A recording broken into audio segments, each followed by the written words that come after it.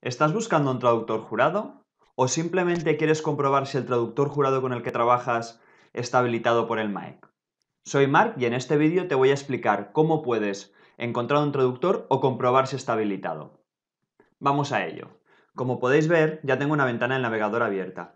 Yo estoy dentro de nuestra web, dentro de un blog que, bueno, aquí os explicamos un poquito todo el proceso que os estoy explicando ahora mismo en YouTube, pero en escrito. ¿De acuerdo? Os he dejado un enlace para que podáis acceder de manera rápida y fácil.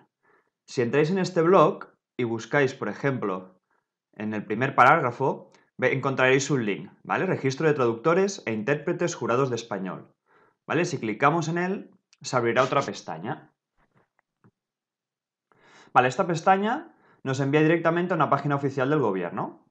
Aquí parece que hay mucha información, pero es muy sencillo. ¿Vale? Os voy a enseñar. Si bajamos un poquito, aquí, mira.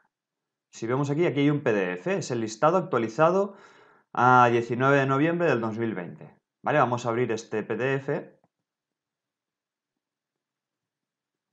Vale.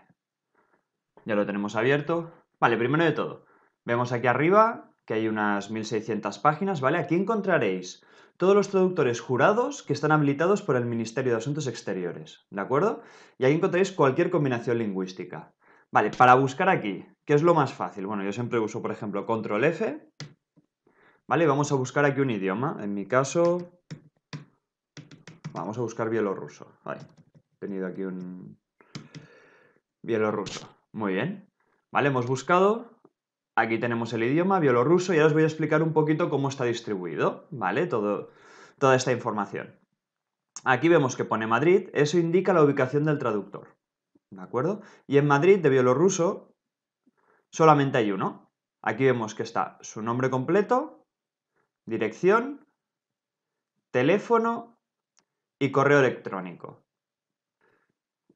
Quiero remarcar este apartado, el año de nombramiento, ¿vale? Y os lo explico de una manera muy fácil y rápida, ¿vale? Si tenéis que traducir un título universitario, este apartado da igual, porque al final es un texto que no es muy complejo. Pero en cambio, si tenéis que traducir eh, contratos, documentación legal, jurídica, ¿no? Entonces, aquí sí que os recomendaría eh, que contactaréis con un traductor que tenga más experiencia. ¿De acuerdo? Si seguimos bajando, aquí podemos ver que seguimos en el idioma bielorruso, bajamos un poquito más, pero la ubicación ha cambiado. Ahora aquí estamos en Sevilla. Entonces este traductor está ubicado en Sevilla. Pero por esto no rompáis mucho la cabeza. Vosotros buscar, por ejemplo, un traductor que esté dentro de España, ¿vale? Porque los precios y las fechas de entregas eh, serán muy parecidos. Básicamente ahora mismo trabajamos enviando una copia por, por, correo electrónico y la otra por mensajero. Entonces, da igual que esté ubicado en Barcelona, Madrid o en otra localidad porque el servicio por mensajería es de 24 horas, da igual el sitio o el punto de España. Con esta información ya hemos terminado el tutorial. Ahora ya sabéis cómo encontrar un traductor jurado oficial. Igualmente en la descripción os he dejado dos enlaces. El primero es para conseguir un presupuesto de traducción jurada en menos de una hora. Y el segundo os explicamos qué es la traducción jurada y por qué es tan importante. Además, si te ha gustado este vídeo, por favor déjanos un like y suscribiros al canal. ¿De acuerdo? Nos vemos en otra ocasión. Hasta otra.